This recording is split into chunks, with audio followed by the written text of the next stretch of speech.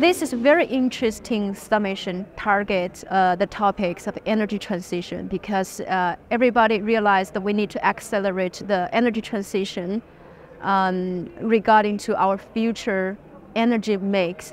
It's very important in Portugal because Portugal has a very good foundation right now with the renewable energy.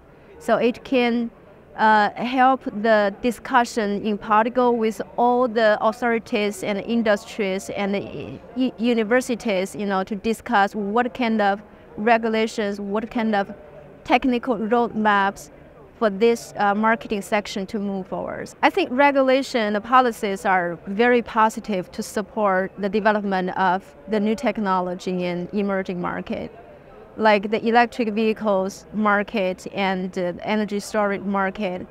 Um, especially in the past, so there's a lot of discussions and regulations being updated, upgraded, you know, to drive the old R&D and the business models creation. It really promotes the new marketing to growing bigger and mature.